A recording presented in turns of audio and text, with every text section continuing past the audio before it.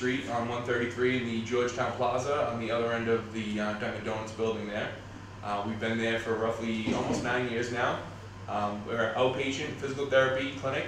We provide exercise-based therapy for all of our patients with any orthopedic disorders. Uh, we do a lot with um, the New England Baptist Hospital. We work with their spine program. Uh, lower back pain affects a lot of people in this country, and about 80% of people in America deal with that at some point in their life. And uh, we do a lot with that. Uh, the spine program, our physical therapists are trained in their exercise programs to help you uh, move on and, and uh, live a better life. How are we doing, sir? Welcome. Um, so the same, we um, have been around in business uh, general for 20 years. Uh, this past October, we celebrated 20 years uh, in the North Shore area. Uh, we have locations in Saugus, Mass, Georgetown here, and over in Methuen as well. Um, we have roughly about 28 employees working for us, so we're a small business, but um, you know we can compete with a lot of big businesses out there. A lot of the uh, doctors in the area, from uh, up in Newburyport uh, to down in Peabody, Danvers, and even down into Boston as well. Um, you know they'll send us their referrals because you know being local is better than having to go into town to get your physical therapy treatment when you can come to someone that's in town here and make, make your life a little bit easier rather than going, you know, twice a week driving into town dealing with traffic. Um, you know, if you want to go see the good doctors, but want to have your physical therapy back here, um, that's what we're here for.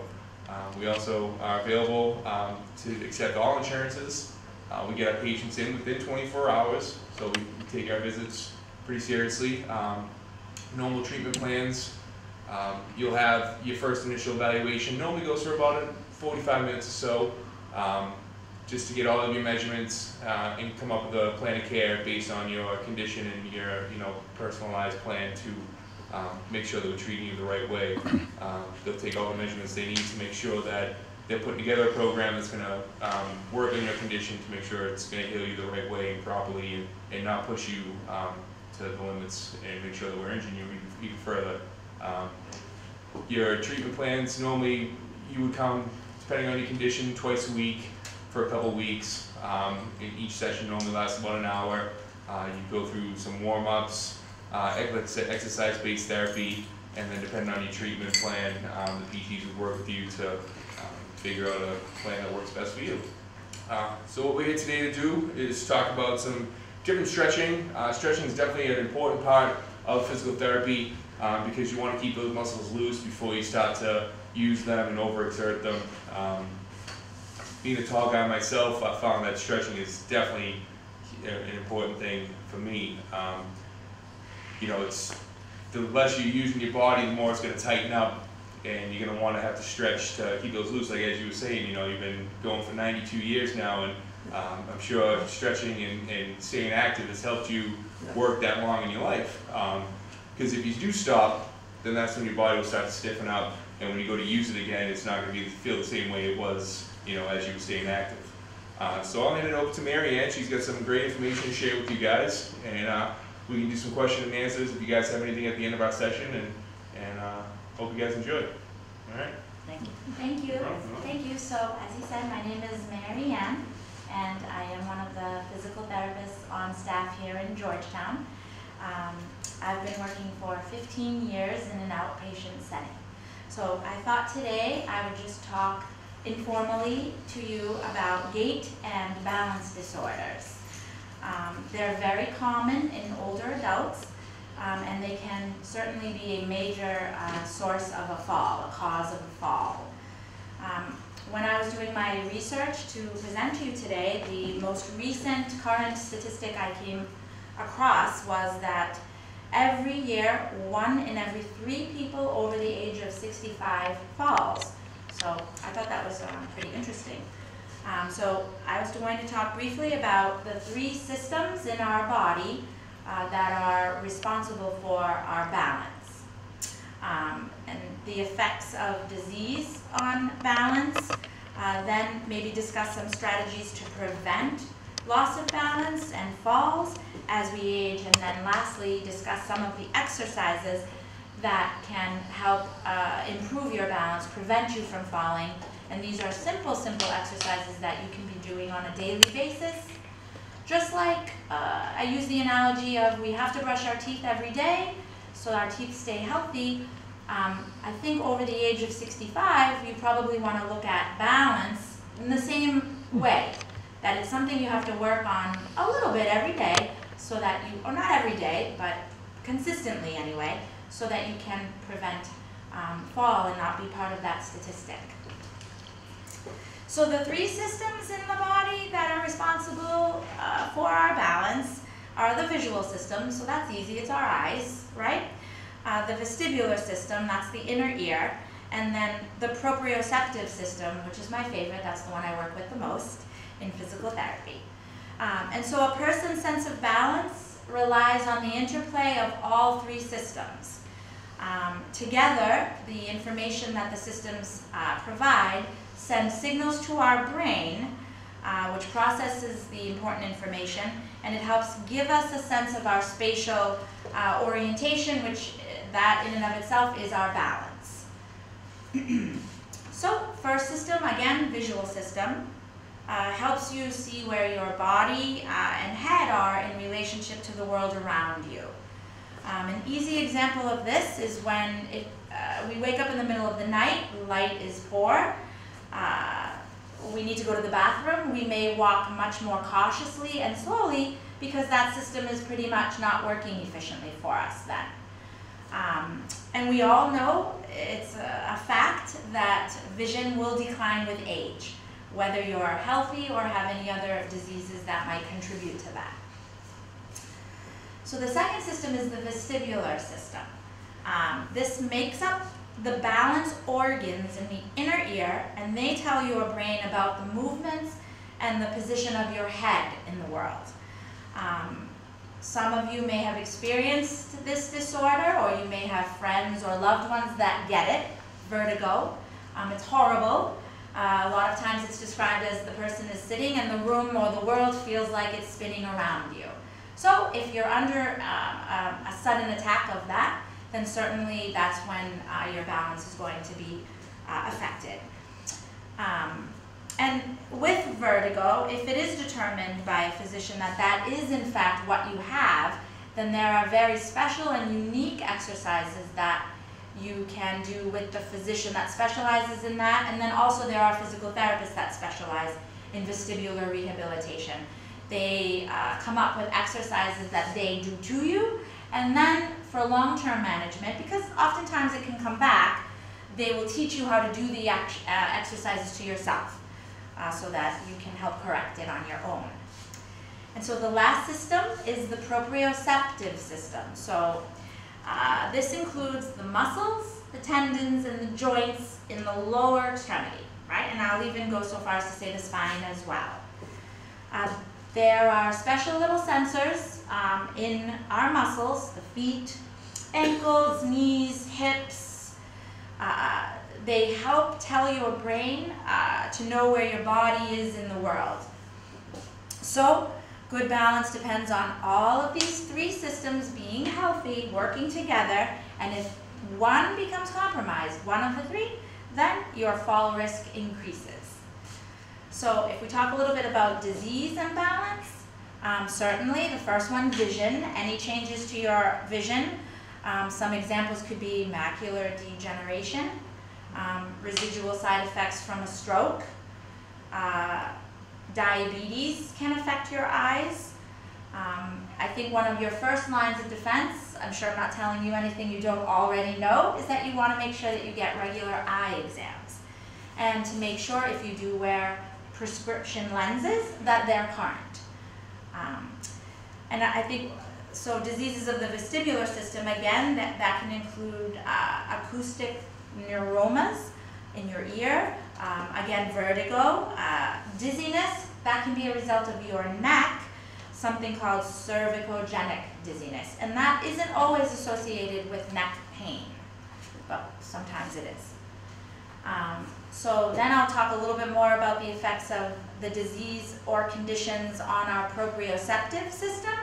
Again, it's the muscles, the tendons, and the joints of the lower extremity.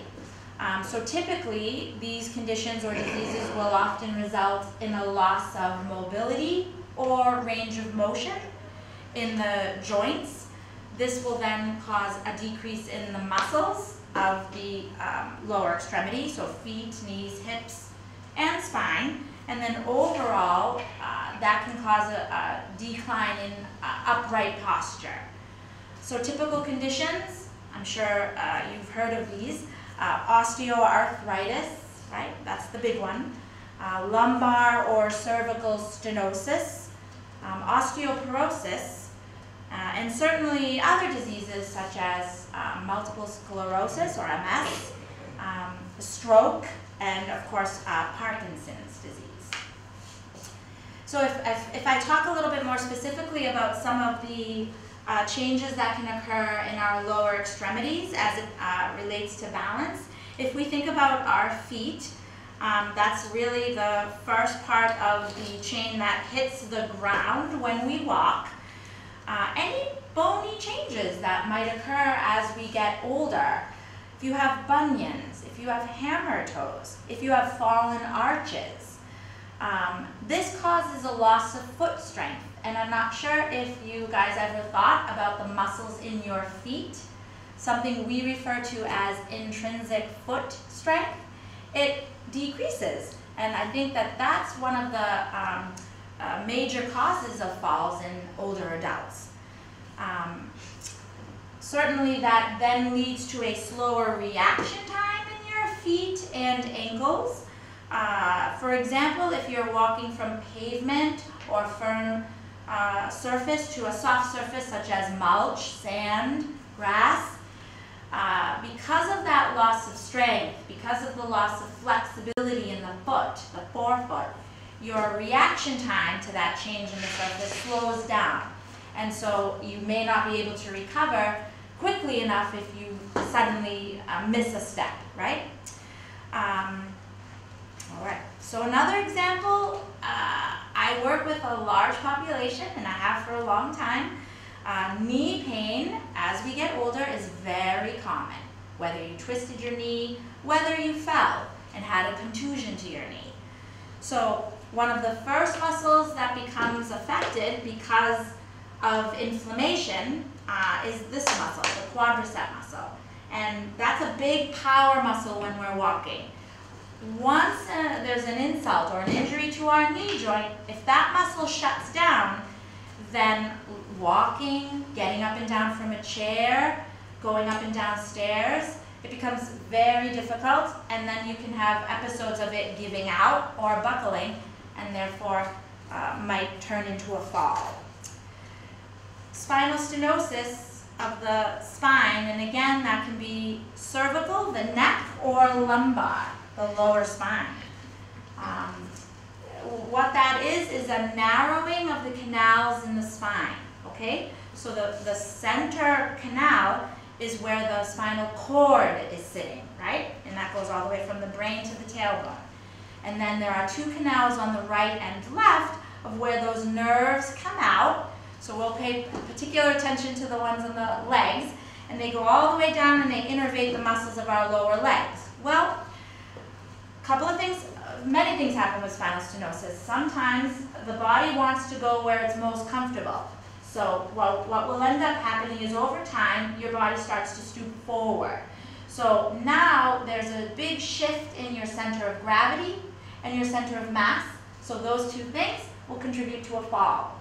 Another thing is, is as you're stooped over and you're walking, your ankles and hips are not able, they don't have enough room to be used efficiently to get the full range of motion. And so again, over time, as I said before, the muscles start to become weak, they start to become tight, and then not working efficiently, and all of that together can contribute to um, a fall. So some simple strategies to prevent falls. The very first one I think is regular exercise movement. Second one, we'll talk more about exercise at the end. Um, proper footwear, this time of year it's very uh, common that we want to wear floppy sandals. I meet a lot of people, uh, you know, over the age of 65 that have tricky footwear that can certainly contribute to a fall. Um, hazards in the house. First thing, area rugs. I know a common place for those are by the sinks. I think if you try to get either that rubber slit, uh, mat that goes underneath or just a non-skid mat altogether is better. Uh, because you wouldn't want to uh, run the risk of uh, catching your toe on the corner of the area rug, a very common cause of a fall. Using night lights in the hallways, I actually do this myself in my house, uh, or in your bedrooms, bathrooms, keeping lamps by your bedside. Um, to go back to that example of if we have to get up in the middle of the night and it's dark, if you just have a little night light, it at least at least illuminates your path to the bathroom, and that visual system that you rely on uh, at night helps helps you not lose your balance or trip. Um, and so, good segue: declutter the house. Make sure that the walkways are free of clutter. Assistive devices, and I don't mean just canes or walkers. Certainly, those are beneficial. But if you look at your home, um, maybe you might have to ask yourself, is it time to put assistive devices such as handrails on both sides of the stairs? Maybe uh, it's getting more difficult for you to either ascend or descend the stairs without needing to hold on to someone. If you simple installment of a, a rail, um, if you only have it on one side, to do it on the other side can be very helpful. Uh, let's see. Grab bars, of course, in the shower. Most of the time, toilets are situated near a vanity, and that can be helpful to push off on the vanity. Raised toilet seats uh, for injured knees. Remember, I talked about that quad weakness, so it makes the sitting uh, up and down from a toilet difficult when you don't have that good weakness in your, that good strength in your quad. And believe it or not, that one transfer can is, is a big source of uh, falling for people. Um, and then, of course, shower uh, chairs. Um, and then a handheld uh, shower nozzle, so that way you can be more comfortable sitting, uh, showering, and then again avoiding a chance of falling. Another one you might not think of is if you have to use a step stool to get into high cabinets, why don't you just move those things that you need that step stool for? And if you access them a lot during the day, just change your kitchen. Put them lower. So what? What? Yeah. Yeah. Um, so, shaky balance. Shaky balance is a downward spiral. What happens is that because you start to sense that you're not as steady, maybe without leaving an impression on you, you're going to slowly start to introvert in a way. You won't go out as much. Um, you might avoid getting the mail. Uh, you won't socialize with friends as much. And naturally, you just begin to move less and less and less in the day. And if there's one thing you take away from today, away from me today, is that inactivity, because you're unsteady, is one of the worst things you can do because it's only going to get progressively worse. The ex famous expression, use it or lose it. If you don't use it, you will lose it. Um, you will become weaker, and the muscles that are essential for balance, that's all of the big hip muscles, the uh, knee muscles, the ankle muscles, and those intrinsic feet muscles, they're just going to get progressively weaker. And then your unsteadiness just gets worse. So, I brought some handouts for some specific simple exercises. If you uh, include them uh, in your daily routine, or every other day, or a couple of days a week, it can improve your stability and it can definitely improve your balance. Um, I will that. In closing, I just wanted to say that physical therapy, so what we provide over at that plaza where Dunkin' Donuts is, it can play an important role in what we do is we evaluate uh, people with balance disorders. Uh, we can help determine what impairments you might have, um, what part of the body uh, it's coming from. Uh, maybe it's multiple systems, maybe it's your feet and knees and hips. Um, we can uh, create an individualized treatment plan. Uh, typically, it, it'll include exercise, again, to improve your flexibility, to improve your strength. And if you are at all concerned about it, or if you have a loved one or a friend that you're concerned about their balance, mention it to your doctor, certainly. Uh, they, based on your description of symptoms or issues, uh, they may determine if you need to be seen by another specialist, again, referring back to the visual system or the vestibular system. Um, so, so maybe they can uh, have you see someone and have, go through further testing. But if you simply think it is because of your lower leg strength, flexibility, you don't have to see your doctor first to come and see us in the state of Massachusetts. You can come directly to us. You can refer yourself. Um, and like Joey said, we accept all Mhm. commercial insurances and of course I mean, Medicare. I didn't realize that. I didn't realize that. Yeah, you- you don't have to have a prescription from the doctor. Okay. You don't. If we thought that you, if we felt after talking with you and evaluating you that you should be seen by, by your physician or a, we will certainly educate you and, and, and tell you that. But generally you don't, so we welcome you to come if you have an, any kind of, um, issue. Uh, so, like I said, I brought some, uh, handouts out for low level, medium level, and then of course high level exercises. Um, stretching your calves is uh, a, a, a very good exercise uh, because uh, as your uh, leg swings, it's important that you be able to clear the uh, foot, and so that toe needs to come right up.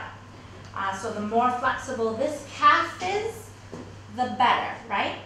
Um, so there are two ways you can do it. If you're up and mobile and standing, no problem. You grab a wall or a kitchen counter, right? And this is the leg I'm stretching, so I step it back, and then my forward leg lunges forward, and I'm feeling a nice pulling sensation making sure that I keep my knee nice and straight. And um, what you would want to do is hold that stretch for 30 seconds and repeat it at least three times in one session in your day. Um, for those of you who are participating in a walking program, um, which I, uh, is great, I encourage you to do that. That is a beautiful stretch to do when you come back from that walk. If you are not very mobile or standing is not great for you, there is an alternative way to do it. You, I have a fancy belt here that's uh, called a stretch out strap, but you can use a flat bed sheet, you can use a towel, right? I think I'll do it here.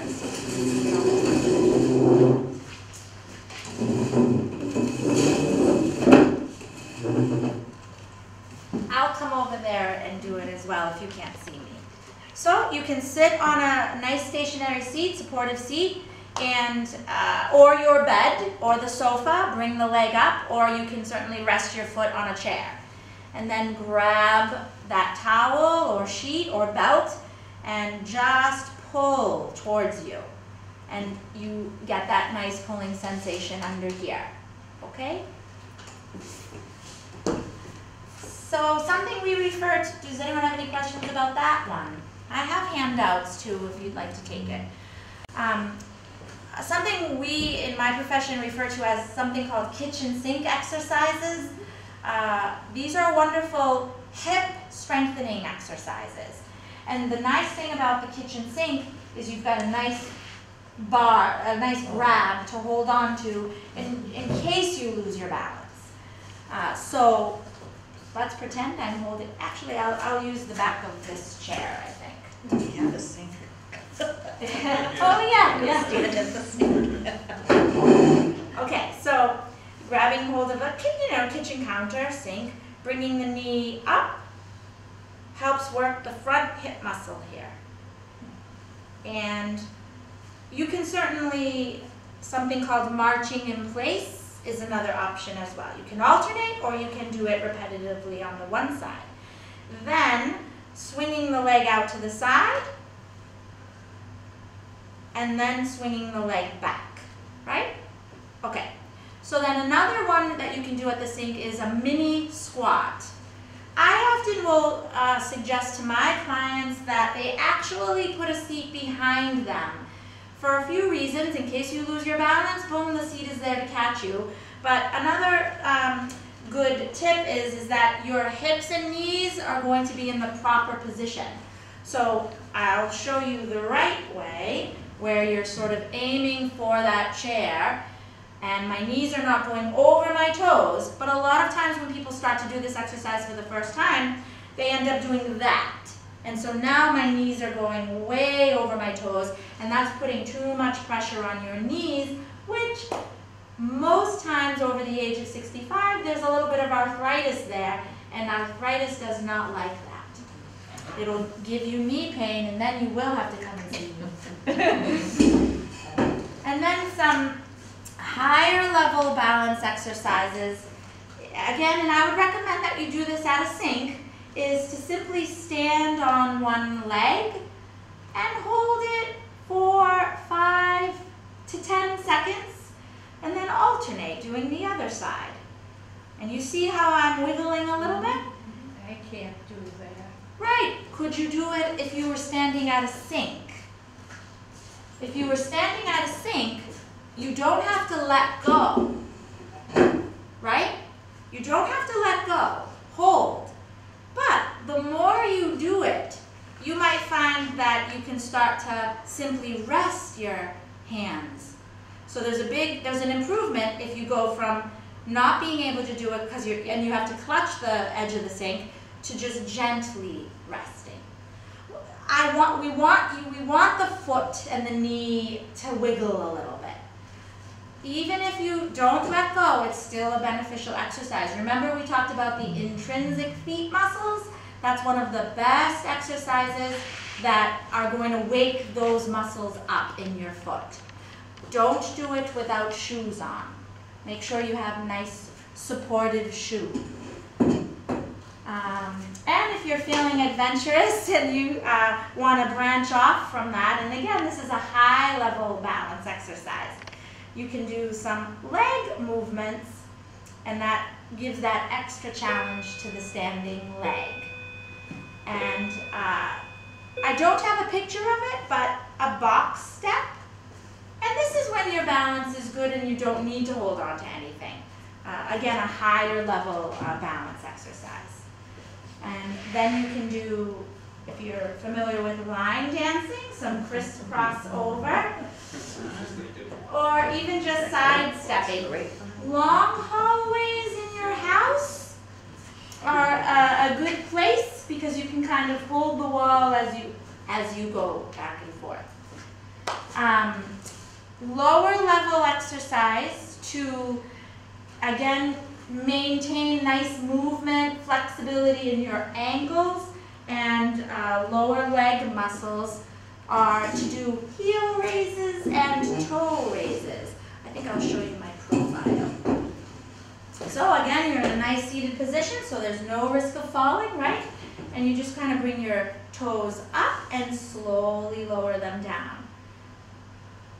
And then heel raises. So this works your range of motion in your ankles and also helps strength, strengthen the lower leg muscles. But there are lots and lots of different exercises. As I said, if, if there are any concerns for you or a family member um, with balance or a risk of fall and you want to determine what is your fall risk, come see us and we can help. I would like to uh, open it up to questions if you have any. I'm balanced. I have no balance. You have no balance, and I see you use the rolling walker. Otherwise I'll fall. Right. Um, and so in standing, what, what kind of activities do you do in standing? Do you, do you, do you wash your face? Do you do your hair? Do you stand to do these? At the sink? Yeah. Yeah. So I certainly think uh, you could try to, I mean, if you'd like to walk over to that sink, we could try it a little bit and see how it works for you. Okay. All right. Mhm. Does anyone else have any other questions?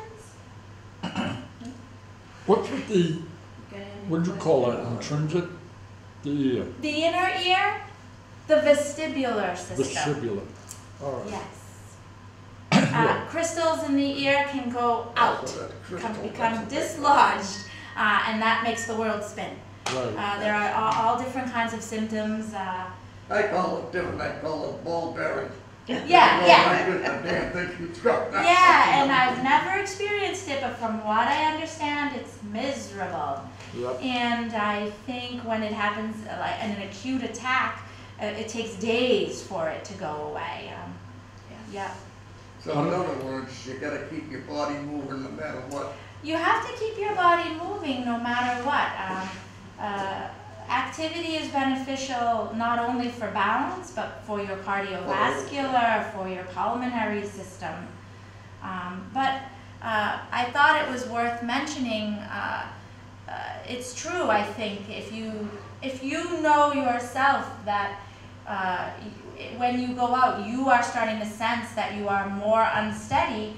I think it's natural to probably say to yourself, well, then I'm not going to go to the store. I'll ask my daughter or my son to uh, get my groceries for me. And uh, we live in New England. The winters are horrible here.